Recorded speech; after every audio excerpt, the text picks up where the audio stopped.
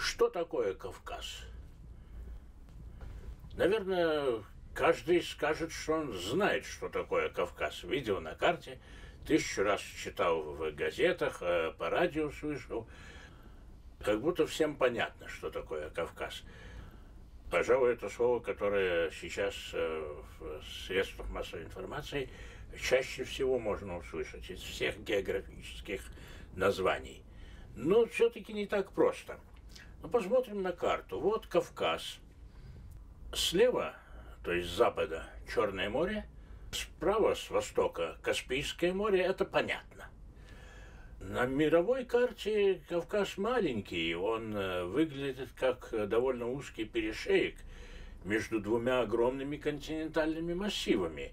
Массивом Восточной Европы, ну, Россия и Украина в основном политически это с севера, и таким же массивом, но уже совсем другого характера, и по географическим условиям, и по цивилизационным обстоятельствам – Передняя Азия, Турция, Иран. И надо сказать, что Кавказ всегда был и сегодня остается маленьким плацдармом противостояния э, многотысячелетней стратегической борьбы между этими двумя огромными ареалами – когда-то просто он назывался Великая степь, а потом стал э, Россия. А, а с другой стороны, это древнейшие, самые первые в мире цивилизованные государства, очень высокие древние культуры Передней Азии, начиная с Шумера, Вавилона и дальше кончая там Парфией, Византией, Турции, Ирана вплоть до современности. От северного степного пояса Кавказ отграничен естественно. Это Кумаманычская впадина. Но если бы она была на 10 метров ниже еще, то тогда воды Черного моря потекли бы в Каспийское и затопили бы огромные пространства по берегам Каспийского моря. Но, к счастью, вот этот перешейк остается, но он очень низенький, он занят цепочкой озер, болот от Ростова, то есть от устья Дона начинается, и до устья реки Кумы на северной границе Дагестана, равнинного Дагестана, э, на Каспийском море. Так что это четкая, естественная географическая линия. Вот за ней начинается Кавказ. Южная граница Кавказа – это более сложная вещь. Ну, сейчас это политические границы Грузии, Армении и Азербайджана. Они сложились в результате того, что вот так вот на таком рубеже закончились военные действия – Российской империи сначала с Ираном, а потом уже в конце XIX века только окончательно э, с Турцией. Ну, еще во время революции маленькие поправки там были. Но вот эти границы сейчас так оформились, и они, наверное, оформились так, ну, в общеисторическом плане говоря, навсегда. Но есть еще этнографические границы. И, может быть, не случайно так оформились южные границы Кавказа, не случайно именно Кумаманическая впадина географами принята как северная граница Кавказа. В конце концов, можно было ее, там и другие естественные рубежи есть. А, и это этнографические границы Кавказа. А что такое лицо кавказской национальности? Это мое лицо. Лицо армянина, лицо грузина, лицо кавказского горца. Если кто-то вам скажет, что он сможет по лицу отличить армянина от грузина, грузина там от черкеса, черкеса от дагестанца, не верьте ему.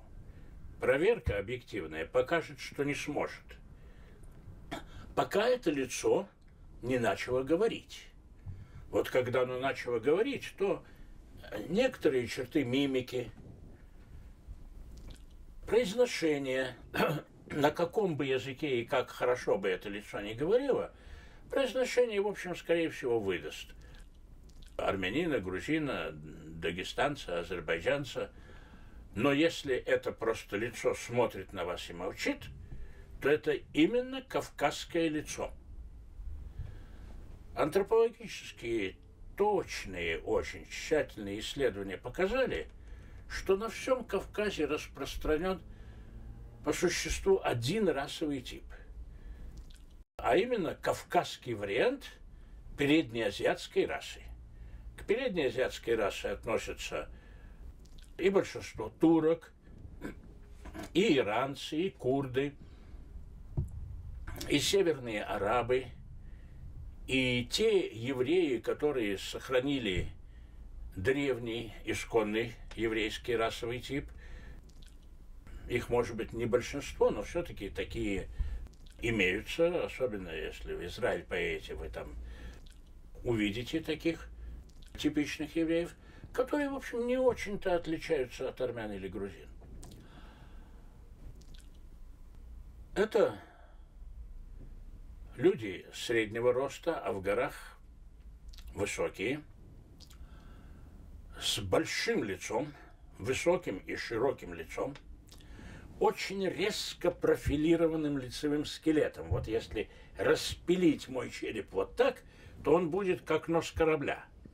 Если распилить вот так череп какого-нибудь монгола, то он будет совершенно тупой, как нос, скажем, десантной боржи. А вот этой резкой, острой профилировкой лица отличаются э, кавказцы от других расовых типов. Высокой спинкой носа, довольно узкими губами. Немножко в восточном Азербайджане и прибрежном Дагестане есть сдвиг в сторону индопамирского типа, то есть северных иранцев, афганцев, северных индийцев, э, таджиков Памира – и немножко на Крайнем Западе у адыгейцев есть э, сдвиг в сторону балканско-средиземноморского типа. Там больше светлых волос, светлых глаз, а вообще же на Кавказе преобладают черные волосы, темные глаза – хотя бывают, конечно, и блондины, и рыжие, и голубые глаза иногда попадаются, но это все-таки редко. Статистически это брюнеты с темными глазами. И, пожалуй, на Кавказе наблюдается мировой максимум у мужчин волосяного покрова. То есть роста бороды, окладистой такой, э, бороды, усов, которая почти целиком закрывает лицо – ну и на руках, на ногах, на груди тоже волос больше, чем у какого-либо другого расового типа. Здесь мировой максимум. Но это касается мужчин. Женщины э, имеют несколько иные черты лица. Ну, дело вкуса, кому нравятся женщины там типа Бритни Спирс, а кому скорее нравится там Ава Гарднер или еще какая-нибудь другая знаменитая актриса и женщины, похожие на нее. А кому-то, может быть, нравятся японки, восточные, да, дело вкуса. Но первый человек, который дал классификацию расовых типов – был швейцарский или швейцарско-немецкий ученый Багофен. Он жил на рубеже 18 и 19 века. Он разделил людей на основные расы по материкам. Он выделил тех, кого мы сейчас называем европеоидами. Конечно, и кавказцы, и большая часть арабов, и персы, и турки – это тоже европеоиды. Смешанные между европеоидным и экваториальным типом это индийцы, Но Багофин про индийцев знал мало, поэтому он как-то в этом недостаток его в азиатскую расу отнес и индийцев, и малайцев, и китайцев, и японцев. Он выделил американскую расу, назвал их американоидами. Индейцев американских он выделил австралоидов, обитателей Австралии, он выделил негроидов, а, обитателей Африки. А вот европеоидов он не назвал европеоидами. Он их назвал кавказоидами. Дело в том, что в это же время там, в Европе, там, в Италии, во Франции – жила в числе многих других российских дворян, многие из которых проводили всю свою жизнь где-нибудь в Италии или во Франции. Ну, вспомним Тургенева, да и Гоголь там подолгу жил, и очень многие другие. Вот среди этих дворян жила одна княжна, э, такого грузинско-черкесского происхождения. Она была российская княжна, но э, по происхождению была частично грузинкой, частично черкешенкой. Она была исключительно красива, и Багофин был в нее безнадежно влюблен. Безнадежно, потому что он был ученый, не блестящий отнюдь, он не танцевал, не блистал, э, сидел в своем кабинете и вот так вздыхал и молился на эту светскую красавицу. Он видел в ней идеал человеческой расы, человеческого совершенства. Ну и поскольку европейцы в целом ему тоже казались идеалом совершенства по сравнению там с азиатами или с неграми какими-нибудь, он европейскую расу, европеоидную, назвал кавказоидной. Правильно сделал, потому что если мы возьмем все разные признаки европеоидной расы, то в максимальной концентрации они встречаются именно на Кавказе. И до сих пор в Соединенных Штатах, где вообще очень многое архаичное, там не сантиметры, а дюймы, не километры, а мили, и расовая классификация, которая в Соединенных Штатах имеет большое значение, даже паспортное значение. Там анкеты заполняются, люди классифицируются по, не по национальному, но по расовому признаку. Caucasians, то есть кавказцы, это вообще все белые люди. И очень иногда наши читатели бывают удивлены, когда читают, что на Гавайях, например, там 70% населения это туземцы и азиаты, а 30% населения Caucasians. Они думают, а, откуда столько кавказцев на Гавайи попало? Что там, значит, грузины или армян очень много? Нет, там грузин и армян практически нету, может быть, ни одного.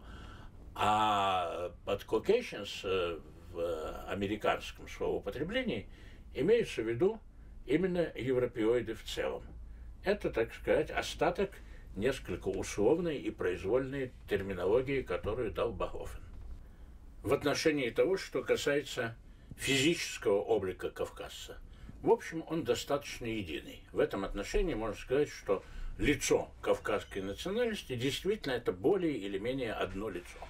Можно говорить о некоторых чертах общих кавказцам в целом. Да прежде всего чувство собственного достоинства, что очень многие, к сожалению, не понимают. Кавказец очень охотно пойдет к вам навстречу, выполнит Любое ваше пожелание, просьба, если она, так сказать, в разумных пределах, он приветливый, доброжелательный человек, но если вы с ним обращаетесь вежливо, а если вы с ним обращаетесь как заранее подозреваемым каким-то преступником и бандитом, он обидится в душе и будет вести себя как бандит. Кавказца легко спровоцировать. Не надо кавказцев провоцировать. Кавказ представляет собой исключительную пестроту в языковом отношении. Правда, есть много слов, которые понятны на всем Кавказе. Но это слова главным образом персидского или арабского происхождения. Есть много слов греческого происхождения, которые тоже понятны на всем Кавказе. Ну, скажем, какой-нибудь вот такой примерно блокнот. Дафтар, даптер. На всех почти что языках Кавказа поймут, или когда скажешь, вот, а это что за дафтар у тебя? Кавказец поймет, неважно какой он национальности. Это греческое слово. Деутера, барака, благодать. Это то же самое, что древнееврейская браха. Любая еврейская молитва начинается со слов «Барухата, будь благословен». Но еврейская браха, арабская барака – это благодать, благословение. И по, в разных языках разно, но благодать, богатство, довольство, изобилие – ну, в разные варианты, но практически барака, беркет, берчат э, у черкесов. Это, в общем, во всех языках эти слова имеются. И много других таких слов. На Кавказе языков много. В одном Дагестане можно насчитать больше 30 только исконно дагестанских языков – которые, ну, отдаленно похожи друг на друга, но все-таки даже в двух соседних деревнях живут хваршины, и недалеко от них там живут дедойцы или ботлихцы, хотя все их языки относятся к андоцесской группе дагестанских языков, но они друг другу непонятны языки соседних деревень друг другу могут быть непонятны. Если по всему Кавказу попытаться разобраться, то больше 50 языков звучат таких, которые или употребляются практически только на Кавказе, иногда в пределах одной деревни, потому что человек выходит за ее пределы, и уже на этом языке его никто другой не поймет, а, или, как армянский язык, э, звучат во многих странах мира, но все-таки исконный ареал их находится в пределах Кавказа. Эти языки относятся к четырем разным семьям. Причем даже в рамках одной семьи это довольно далеко отстоящие друг от друга языки. Какие это семьи?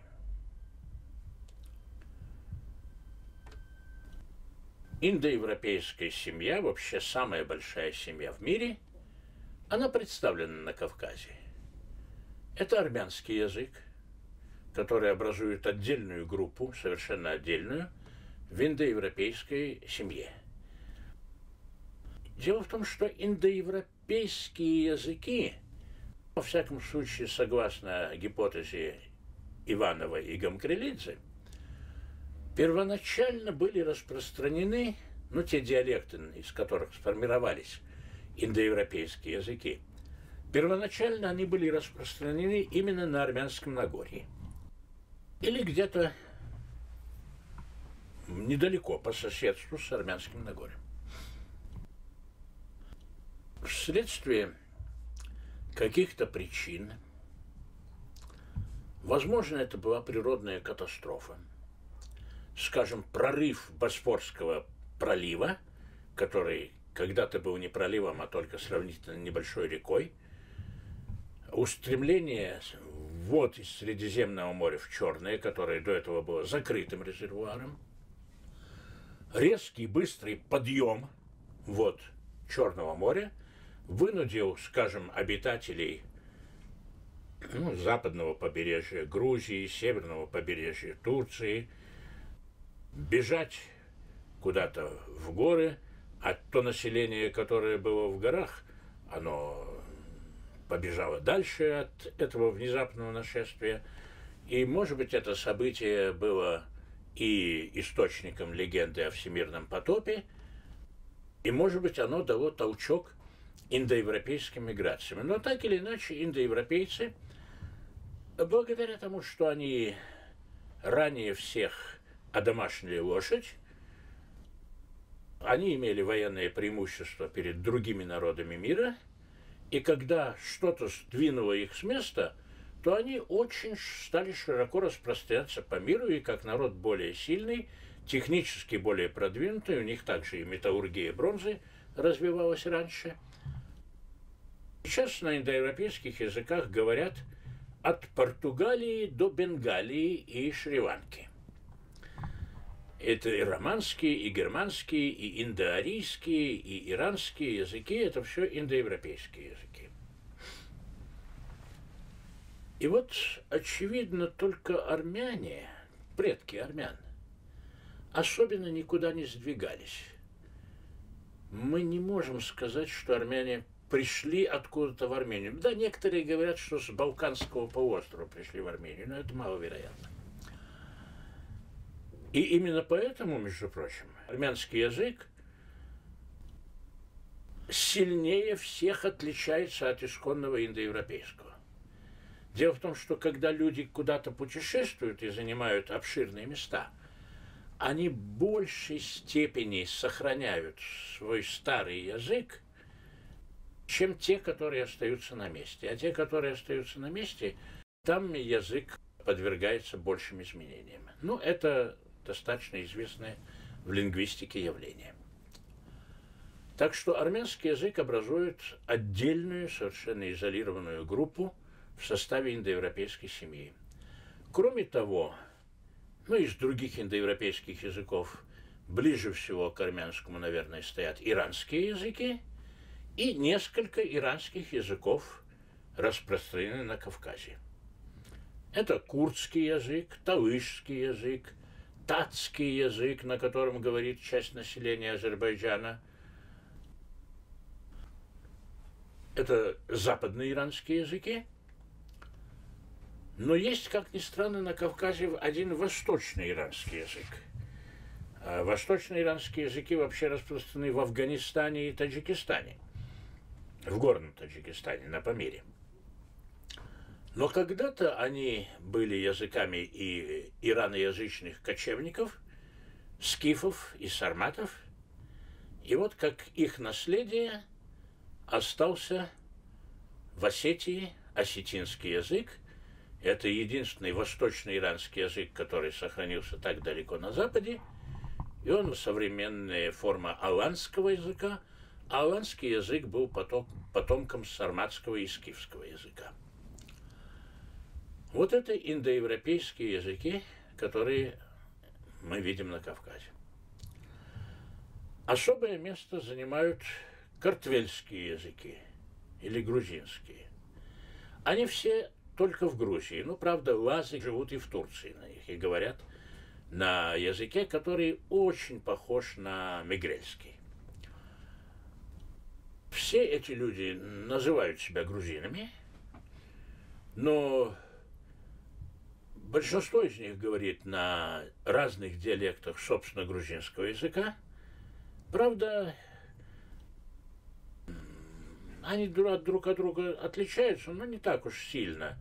Ну, скажем, восточный грузин кахетинец скажет «пришел, ушел, мой дац, авида», а эмеретин скорее скажет «мевидац, эвида».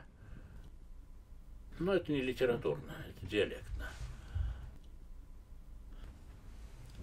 Но кроме того, есть еще языки мегрельский, лаский, лаский в основном в Турции, и сванский в Сванетии, которые очень сильно от грузинского языка отличаются. Когда вы будете слушать людей, говорящих на этом языке, вы скажете, ну да, что-то похожее на грузинский есть, но, конечно, это не грузинский, и понять я ни слова не могу. Ну, точно так же, как если рядом с вами будет говорить там чех или словак, вы поймете, что это славянский язык, но о чем они говорят, конкретно перевести, э, объяснить вы не сможете. Так что вот есть индоевропейские языки, есть грузинские языки, есть тюркские языки. Это азербайджанский, кумыкский в Дагестане, нагайский, скажем, в Дагестане, в Ставропольском крае, карачаевский язык в Карачаево-Черкесии, балкарский язык в Кабардино-Балкарии. Там это языки горского населения. Скажем, кабардинцы живут на равнине, и черкесы живут в основном на равнине, а карачаевцы и балкарцы, они живут дальше в горах. И индоевропейские, и грузинские, то есть картвельские, и тюркские языки объединяются в огромную надсемью, которая называется настратическим – Туда входят индоевропейские, картвельские, тюркские, алтайские языки, скажем, монгольский, маньчжурский, и даже дравидские языки на юге Индии, они тоже входят в эту огромную семью. Это был некогда единый язык, но это был единый язык, так, 13 тысяч лет тому назад – тоже, очевидно, распространенный недалеко от Кавказа в Передней Азии.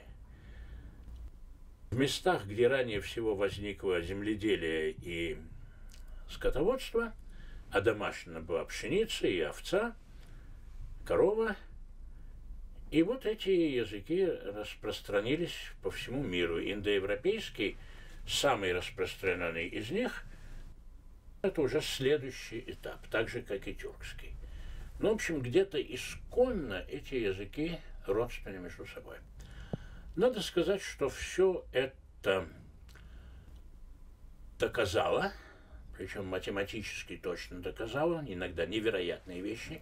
Вот такое распространение языков и народов из какого-то узкого первоначального ареала Московская школа сравнительного языкознания. Сравнительное языкознание когда-то было уделом главным образом германских ученых. Оно зародилось в XVIII веке, прежде всего на основании сравнения европейских языков и индийских языков, санскрита в частности. Как-то э, английские и вслед за ними немецкие ученые с удивлением увидели, как похожи скажем, латынь и санскрит, надо сказать, что русские, если бы они знали, они бы еще больше удивились, потому что русский на санскрит еще гораздо больше похож, чем латынь. Можно посчитать. Один, два, три, четыре, пять, да? На санскрите посчитаю. Эко, два, три, чатер, пять. Очень многие слова звучат очень близко по-русски и на санскрите. Так вот, более глубокие разыскания, открытие огромных надсемей, которые тоже восходят к первичному какому-то проязыку, но не там 6 тысяч лет тому назад, как индоевропейские, а 16 или 15 тысяч лет тому назад. Все это заслуга Московской школы сравнительного языкознания, которая зародилась ну, где-то примерно 50 лет тому назад – Трагический очень момент. Самые блестящие представители этой школы почему-то рано умирали. Вообще у истоков вот этого настратического учения, то есть родства настратических языков, индоевропейских, алтайских, дравидийских, стоит Владимир Ильич Свитыч, гениальный лингвист – его сбил автомобиль, когда он, задумавшись, переходил улицу, ему было 30 с небольшим лет. Но он успел создать колоссальный труд, который потом его ученики и коллеги развивали. И другой гениальнейший ученый, который как раз занимался кавказскими языками, Сергей Анатольевич Старостин, академик, он в возрасте 51 года – в институте востоковедения, где он работал, э, скоропостижно скончался от инфаркта. Колоссальная потеря. Это был действительно гениальный лингвист, таких других просто нету в мире, не было. Они успели сделать очень много. Исследования Московской школы сравнительного языкознания, продолжаются и сейчас.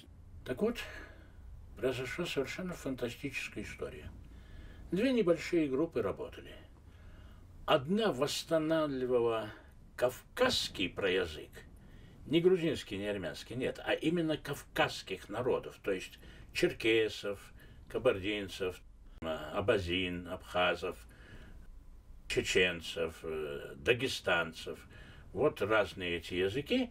В конце концов, если обрабатывать, так сказать, сравнение корней, сравнение слов, то можно найти словарь того языка, от которого 8 тысяч лет, а на самом деле, может быть, даже 13 или 15 тысяч лет тому назад, ну, для, собственно, Кавказского это 8 тысяч лет, они разветвились.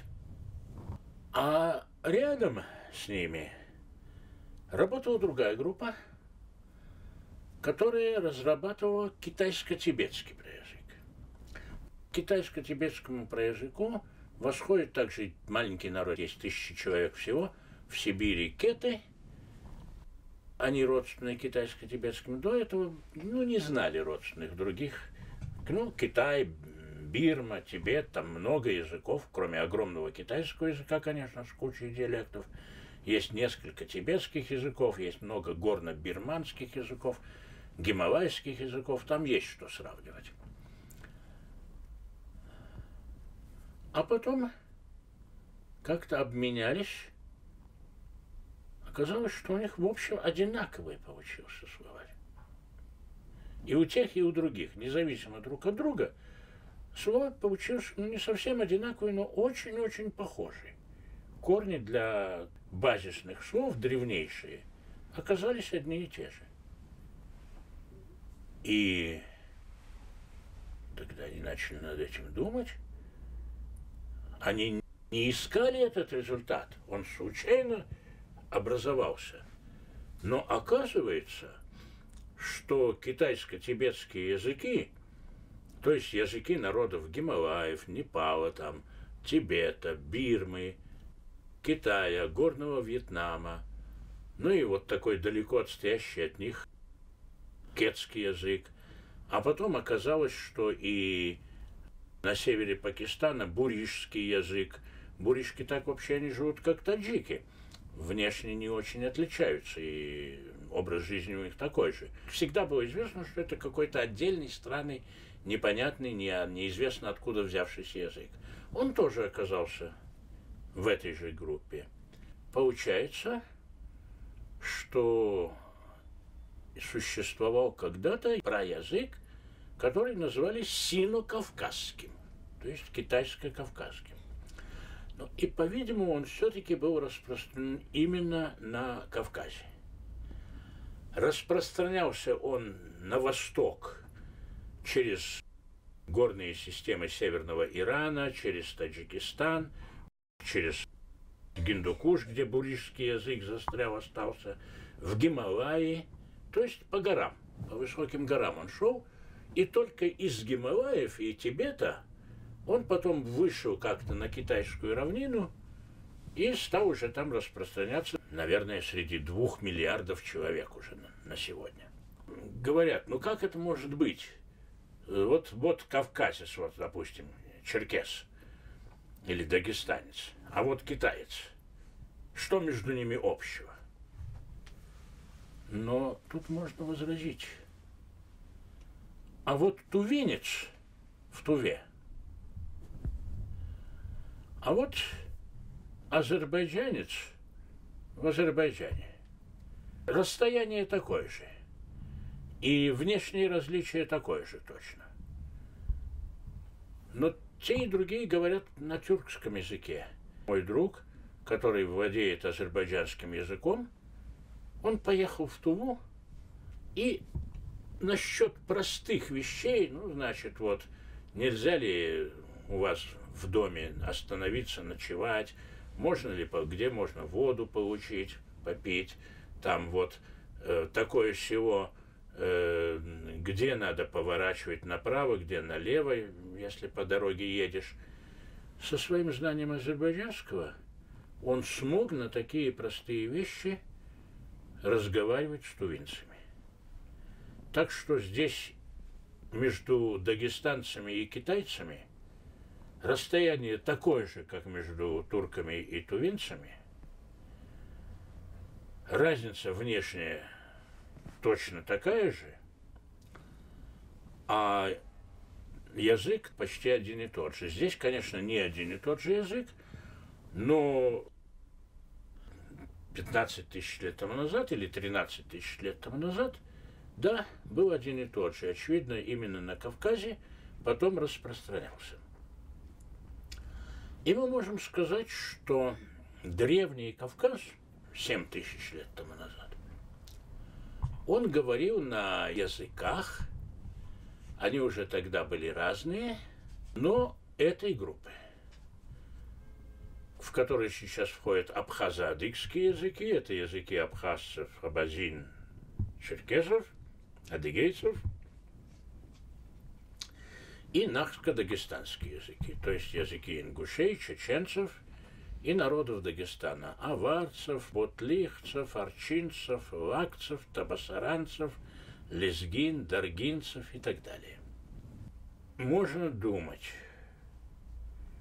что какие-то родственные друг другу языки в общем находились в этом ареале, переднеазиатском ареале. Допустим, предок настратических языков находился где-то в пределах современной Турции и Ирана, предок афразийских языков, то есть древнееврейского, арабского, берберских языков, находился в пределах Ирака и Сирии, там и Израиля современного. А предок синокавказских языков находился не только на Кавказе, но и вокруг Кавказа, то есть часть Северной Турции,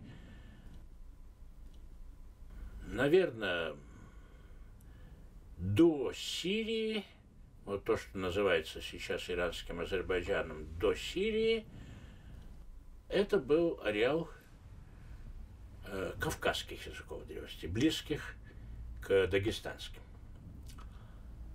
И более того, уже можно считать доказанным, что загадочный язык этрусков в Италии тоже относится к этой же семье, к кавказской семье.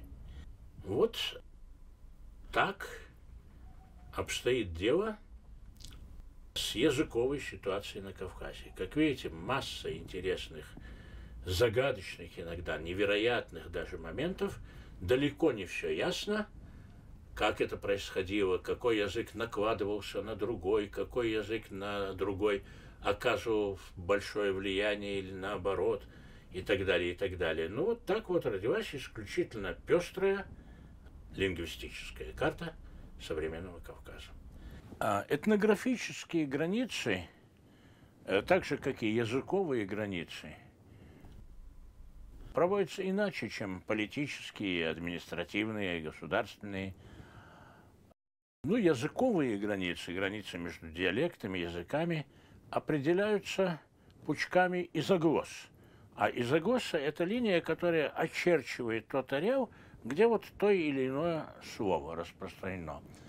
Вот мы говорим сегодня в России, а в Белоруссии говорят «сённи». Вот э, грани... ареал слова, где говорят люди в обычном разговоре «сённи», э, это изоглоса слова «сённи», то есть это одна из границ э, белорусских диалектов. У нас нету слова «сей год», мы говорим в этом году. А на севере поморы говорят «сей год». Опять-таки вот из-за глосса «сей год» очерчивают границы поморских диалектов. А этнографически, ну, например, что такое Восточная Азия в этнографическом смысле слова? Это те места, где люди едят палочками. В других местах едят вилками, ложками, просто руками, лопаточками – а там едят палочками. И только палочками, только там и больше нигде в мире палочками не едят. Изопрагма называется такая линия, изопрагма, которая очерчивает те места, где люди едят свою еду палочками, И есть изопрагма, образующая границу восточно-азиатской этнографической области. То есть Корея, Япония, Китай, равнины и Вьетнам. Вот это будет этот ареал. Для Кавказа можно найти изопрагму, которая характеризовала бы весь Кавказ. Это основная часть кавказского костюма – черкеска. Черкеска, как таковая, оформилась относительно поздно, в 17 веке, скажем так. Но ей предшествовали другие формы одежды, и восходит она исторически к скифскому, наездническому, всадническому кафтану. Одежда, приспособленная для всаднической жизни, для походов, для битвы, для э, постоянной езды на коне.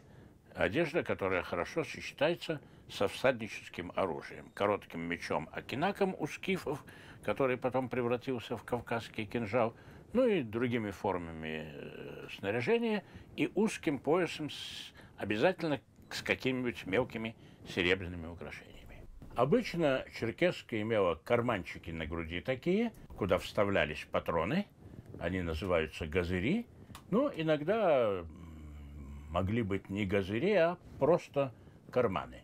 Но они обычно были. Конечно, крестьяне, особенно крепостные крестьяне, зависимые, часто ни кинжала, ни газырей не носили.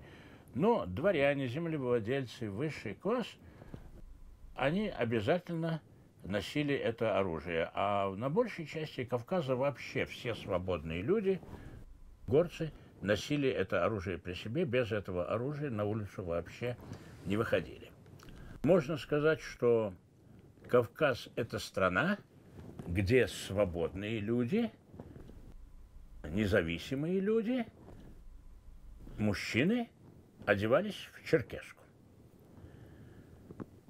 Черкеска, как и любая форма одежды, вещь историческая. Она оформилась окончательно только где-то в 17-18 веке. Но можно сказать, что и Кавказ как таковой оформился в 17-18 веке. Он существовал, конечно, и раньше, но границы его, особенно южные границы, исторически менялись. Поэтому на исторических картах территорию Кавказа, если мы будем очерчивать, то в разные периоды она занимает разную территорию. Но сейчас вот именно такую, как я сказал, и это совпадает с этнографической границей. Сейчас, правда, черкеску на Кавказе почти никто не носит. Могут носить офицеры – торжественных случаях, как парадную форму. Но в этом э, качестве она распространилась и у казаков, правда, именно у кубанских э, и терских казаков, то есть э, тех, которые тоже могут считаться одними из народов Кавказа. Их обычаи сформировались на Кавказе в э, постоянном контакте с кавказскими горцами. Наши императорские любили одеваться в черкеску, особенности последний Николай Александрович.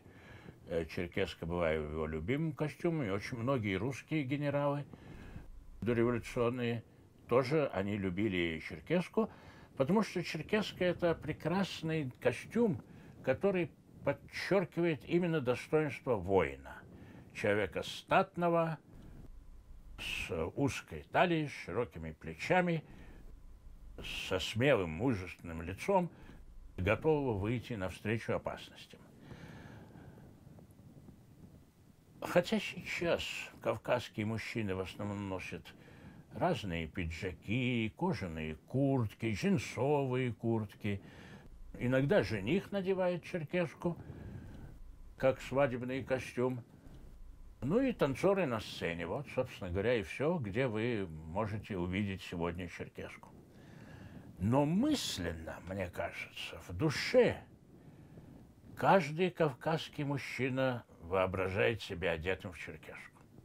И даже если у него достаточно большое пузо, что, к сожалению, нередко сейчас для кавказских мужчин, то мысленно он видит себя стройным, затянутым, мужественным, таким спортивным, воинственным. И это отражает его характер. Кавказский человек – это прежде всего свободный человек, независимый человек. Он терпеть не может зависимости, терпеть не может необходимости подчиняться. И, может быть, многие причины относительно экономической отсталости Кавказа и постоянных политических каких-то пертурбаций, которые там происходят, они коренятся именно в том, что ну, не любит кавказский человек подчиняться какой-то безусловной, абсолютной, непререкаемой власти. Не в его это характере. Он очень бережно, трепетно, я бы сказал, параноидально иногда относится к понятию собственного достоинства, чтобы его никто не оскорбил, не унизил – он редко улыбается, потому что улыбка – это, ну, признак, с его точки зрения, признак какого-то подчинения э, некоторой уже хотя бы небольшой, но потери этого мужского достоинства. Обычно он очень серьезен, горд и, я бы сказал, даже довольно высокомерен. И очень тщательно соблюдает формальный этикет. То есть он ведет себя так, как если бы он был одет в черкешку, как если бы у него на поясе был кинжал. Сейчас ни у кого кинжала на поясе нет, но у очень многих кавказских мужчин, ну гораздо большего их числа, чем вы думаете, где-то имеется пистолет, который он может пустить в ход, если оскорблено его достоинство. Вообще-то кавказские мужчины серьезно относятся к вопросам драки и вопросам оружия. Они считают, что если уж драка началась, то она должна идти на смерть или, во всяком случае, до полной какой-то победы одной стороны, до полного поражения противника. Поэтому, вопреки распространенному мнению, кавказцы неохотно начинают драку. Толкать друг друга с пьяду, говорить, а ты кто такой, а ты кто такой, да пошел ты, и так далее, и так далее, это не кавказская черта. И хотя кавказцы, конечно, выпивают, и довольно много выпивают, но позором считается напиться так, чтобы потерять контроль над собой. Вся их система выпивки построена на том, чтобы даже выпив и выпив много, не потерять собственное достоинство. Вот это собственное достоинство, связанное с черкесской, оно неотъемлемая часть лица кавказской национальности. И основа кавказской системы ценностей одна. И я должен сказать, что мы, кавказцы, армяне, грузины, чеченцы, дагестанцы – черкесы, осетины, азербайджанцы, если нам не мешают, если нас не стравливают какие-то внешние политические силы, мы деремся между собой из-за мелочей, но мы легко находим общий язык. И мы легко можем подружиться между собой. И если в мирной обстановке – сядем мы за стол, чеченец, ингуш, осетин, абхаз, грузин, армянин, азербайджанец, мы очень хорошо проведем время, мы очень хорошо поймем друг друга, мы поймем, что по-настоящему нам нечего делить, что мы вполне можем жить в дружбе друг с другом, потому что наши ценности, наши идеалы, наш этикет, наша этика, наши понятия о том, что такое хорошо и что такое плохо, они совпадают. В значительной степени, знаете, это даже не результат того, что мы живем на Кавказе в течение тысячелетий, рядом, близко друг с другом. Это в какой-то степени результат того, что на Кавказе задержалось социальное развитие, что там не образовался вот такой монархический абсолютизм европейского типа. Он там образовался, феодализм и абсолютизм, но другой. Я по образованию японист. Я изучал японский язык, я изучал японскую культуру. А вырос я на Кавказе. Школу среднюю закончил в Тбилиси. И, так сказать, вращался среди разных кавказских народов. Довольно долго, до, почти до 30-летнего возраста, не было у меня возможности поехать в Японию, хотя японский язык я изучил очень хорошо. С японцами я общался, ну, с теми, которые приезжали, скажем, в Москву, там на фестиваль, на разные другие, работал переводчиком. Только в 60-м году мне было 28 лет. Я первый раз поехал в Японию. А до этого читал труды английские, американские, немецкие, о Японии. И там все было написано, японцы это такой загадочный народ, они ведут себя не так, у них все как-то наоборот, там шиворот на выворот, их не поймешь, для европейца они совершенно непонятны, и так далее, и так далее. Приехал, и больше всего удивился тому, что ничто меня не удивляло. Нормальные люди правильно себя ведут. Я бы в этих обстоятельствах поступал бы точно так же. А потом я понял, что это с точки западного европейца, индивидуалиста, уже очень проникнутого капиталистическими буржуазными отношениями – еще с какого-то там 14 века, проникнутого вот этими отношениями монетарными, они неправильно себя ведут. А с моей точки зрения, с точки зрения кавказца, они правильно себя ведут. Элементарная вещь – гостеприимство. Гостеприимство свойственно и англичанам, и французам, и немцам, ради бога. Ничего не хочу сказать. Но, ну, придешь э, к какому-нибудь немцу, они сидят, обедают.